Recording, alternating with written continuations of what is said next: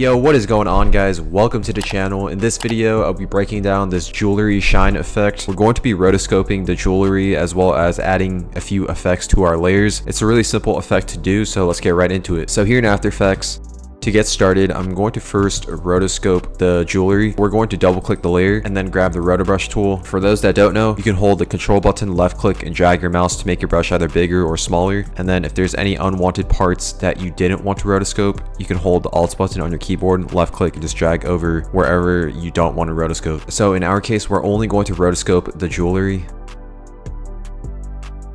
After going frame by frame to check that everything was properly rotoscoped, you want to then click the freeze button in order to lock in our rotoscope subject.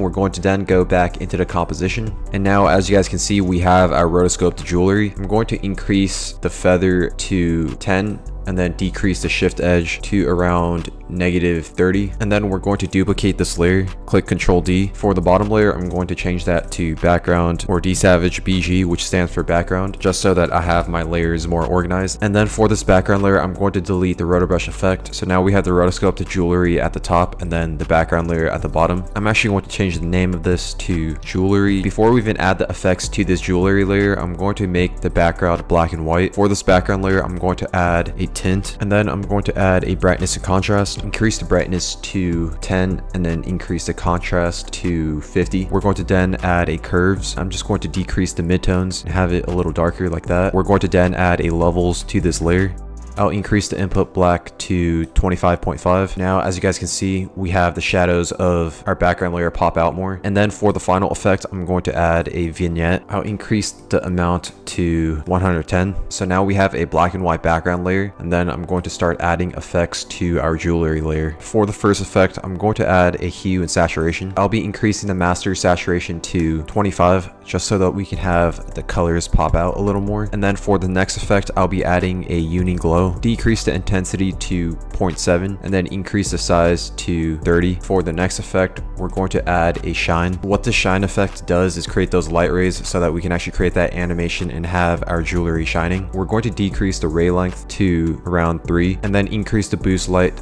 to 2.5. For the color, we're going to create no color, so we're just going to have it white like that. We're also going to decrease the source opacity, and I'll have that at 50. And then in order for our shine to actually shine in the right direction, what we're going to do is click that effect, go to the source point, and then as you guys can see, we have the source point, and we're just going to drag that down towards the bottom so that our shine effect is shining towards the top. And what we're going to do is animate the source point, so we're going to have our shine effect going from the left to the right. So what you you want to do is just animate the source point at the start. Click that layer, click U to reveal the keyframes. We're going to go forward 30 frames. In order to go forward 30 frames, you want to hold the shift button on your keyboard and then click page down three times. So one, two, three, grab our source point that we just keyframed. And then we're just going to drag that all the way towards the left. And once it finishes animating from left to right, keyframe the shine opacity at the start at 100 and then click that layer again, click U to reveal the keyframes. Go forward 30 frames to where the source point was keyframed. And then we're going to keyframe the shine opacity back to zero. So right when it finishes animating from left to right we can just have it slowly fade out. Grab all those keyframes easy ease them. Now if i play this we have that shine effect going on. And then what we're going to do is also create a flicker effect so that we have the jewelry constantly lighting on and off. So for this jewelry layer we're going to add a curves. And for this curves effect drag the midpoint down so that we have our jewelry start out darker. Keyframe that curves at the start. And then we're going to go forward two frames drag that curves point towards the top. Now, as you guys can see, it's a lot lighter. And then go forward another two frames, grab both of those keyframes, click Control C, and then click Control V in order to copy and paste those keyframes. And then what we're going to do is just go forward another two frames and then copy all of these keyframes, click Control C and then Control V. We're just going to do that till we reach the end of our layer. So now that it's keyframed till the end of the layer, going to then grab all those keyframes and ease ease them. And now if we play this, we have that flicker effect going on with the jewelry. And just to make this effect look a little better, what we're going to do is add a flash blur effect at the start. So create a new adjustment layer. For this adjustment layer, we're going to add an exposure. Keyframe the exposure at 2 at the start. We're also going to keyframe the offset to 0.7 at the start. Click U to reveal the keyframes and then go forward 8 frames. Keyframe the exposure back to 0 and the offset back to 0. I'm also just going to cut this adjustment layer to 8 frames just to keep it more organized. Grab all those keyframes, easy ease them. And then in order to add that blur effect, we're going to add a fast box blur. Keyframe the blur radius at at 10 at the start, and then go forward 8 frames, keyframe it back to 0, grab those keyframes, easy ease them. So now when I play this, we have that really dope flash blur effect going on at the start, as well as the jewelry shine effect. But that is all I have for this effect. Thank you guys for watching, and I'll see you guys in the next video.